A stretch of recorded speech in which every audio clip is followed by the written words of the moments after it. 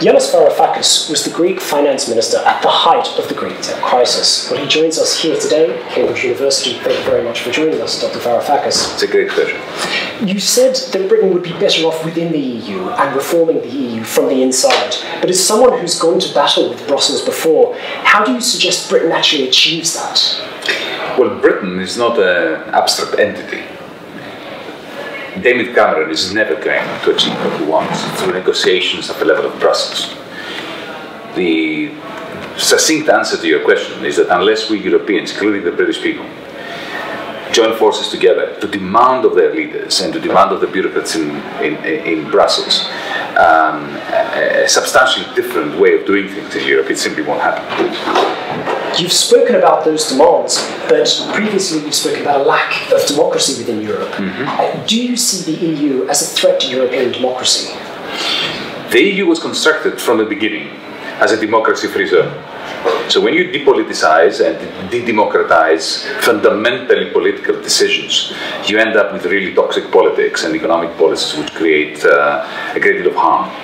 Uh, the European Union has, uh, has offered a great deal to us, uh, doing away with borders, the free trade, uh, the peace that has spread throughout the European continent, but at the same time, it has become a cesspool of deflationary forces and the more the global economy has been tested after 2008, credit crunches and all that, uh, the more exposed uh, its uh, fundamental flaws have become.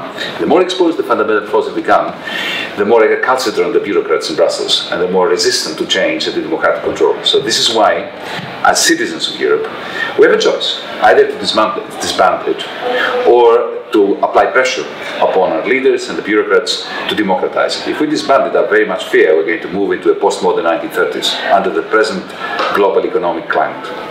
Under what circumstances would you return to politics? I am in politics. Politics is not just being in government or sitting on parliamentary benches. Politics is what you and I are doing now. It's political engagement. At the moment, actually, I feel that I am far more political than I was when I was in government, because in government you operate within all these terrible constraints of what you can say, what you can't say. So, politics is uh, my life. You've used, you've used terms like terrorism and torture when describing the acts of Greece's creditors. In retrospect, do you think those comments did more harm than good? Absolutely not. Speaking truth to power and telling citizens around the world what is going on uh, was always going to be my strategy, and it's a, in effect it's a moral duty. Um, what I said was, and think about it. Imagine tomorrow morning. We're in Britain, in Cambridge today. Imagine if tomorrow morning the banks were kept closed by a central bank somewhere in Frankfurt or wherever, which shut them down in order to impose upon your democratically elected government policies that your people doesn't want. Now, what is this? In a monetized economy, if you shut a people's banks down, this is to try to impose upon them policies against their views using fear. Now, that's the definition of terrorism. Negotiations concerning the transatlantic trade and investment partnership between the EU and the US have been carried out behind closed doors. Do you think this is a cause for concern?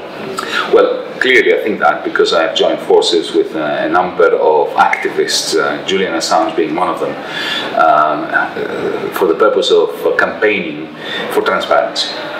Uh, I'm all for free trade. I'm all for negotiations at the global level. It's important to bring the different parts of the world together. But I think our constituent parts, our constituents, our citizens, have every right to know precisely that which we are negotiating on their behalf. Dr. Yanis Varoufakis, thank you very much. Thank you.